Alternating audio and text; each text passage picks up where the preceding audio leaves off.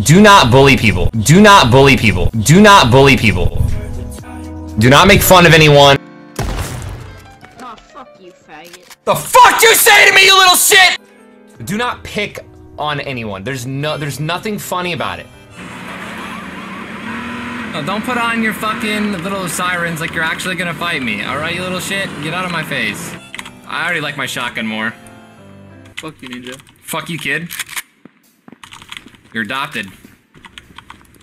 And I know it's hard to do it with it when you're with a bunch of your friends and you think, oh, since you're all doing it, right? Because when you're with your friends, you do stupid shit. Because it's funnier. Things are easier to do when they aren't right with a group of people. Die in a fucking fire. Please.